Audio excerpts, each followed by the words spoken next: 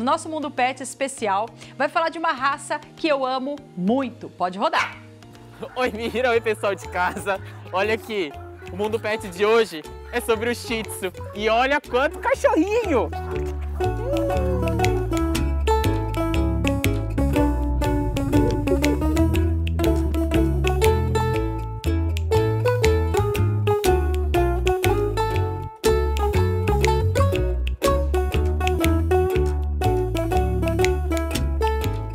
Eu tô aqui com a Josi, que já trabalha com a raça, com o Shih Tzu há 12 anos.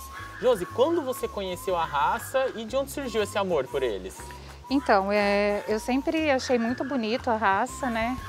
É, meu tio tinha um casalzinho de Shih Tzu e aí eu comprei uma fêmea. E assim, foi apaixonante, foi amor à primeira vista, né? E deixa eu perguntar, a gente tá vendo um monte ali no fundo. Sim. Quantos você tem? Ao todo, 35. 35? Sim. E como é que é o comportamento deles? Como eles se comportam? Eles são dóceis, amigáveis? É uma raça super tranquila, né? É, são dóceis, é uma excelente raça para quem tem criança. É uma raça de dentro de casa, né? Que quem mora em apartamento, quem mora em casa, fácil de adestrar para fazer as necessidades no lugarzinho certo, mas é uma raça apaixonante, super Vejo. Ah, quem que é essa que tá no seu colo? Apresenta pra gente. Essa aqui é a Bela, Ah. é uma netinha minha, Ah, tá com dois anos. com dois anos. Isso. E eu tô vendo que ela tá com o pelo bem longo, né? Ela é uma raça que Isso. tem, que tem essa pelagem mesmo, essa característica? É uma raça de pelo longo, né? Aham. A característica do Shih Tzu é essa pelagem comprida.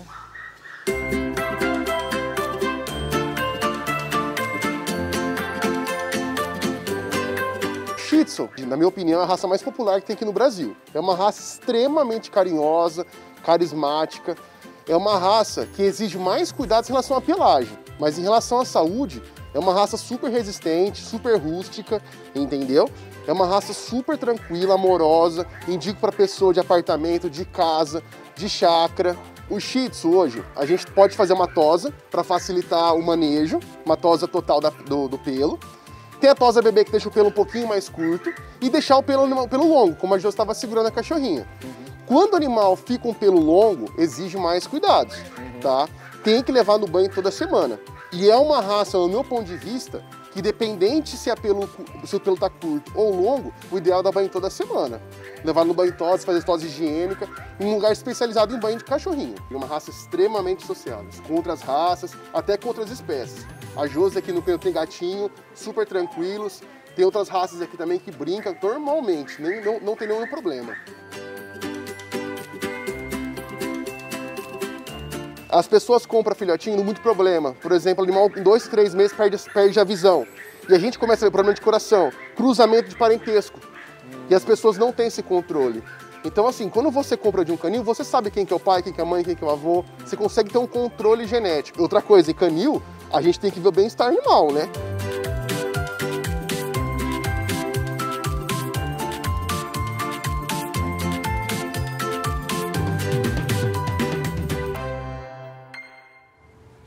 Oh, meu Deus, se eu vou para um lugar desse, acho que eu enlouqueço.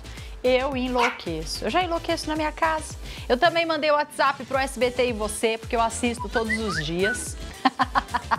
e agora os meus cachorrinhos vão entrar no nosso WhatsApp. A Mira mandou o WhatsApp pra gente. E esse aqui é o meu, gente. Esse é o Nauezinho.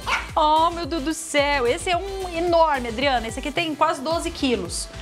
Tem a irmãzinha dele também, que é essa aqui, a Brisa. Que lindo. Ela tá, essa é a melhor foto que eu consegui da Brisa, porque ela não para. Então para. Ela não para um segundo, um segundo. Ela é virada no girai, essa cachorra. E esse daqui, que é o meu filhote, que vocês acompanham aí nas redes sociais, que é o pai dos outros dois, Pai. que é o Lama. É, o Lama é o pai do Nauê e da Brisa. Esse daqui é o meu amorzinho. Você que me segue lá no Instagram, no arroba Mira Felizola, você vai ver o Laminha todo dia passando por lá. Cuide mais fofa da minha vida.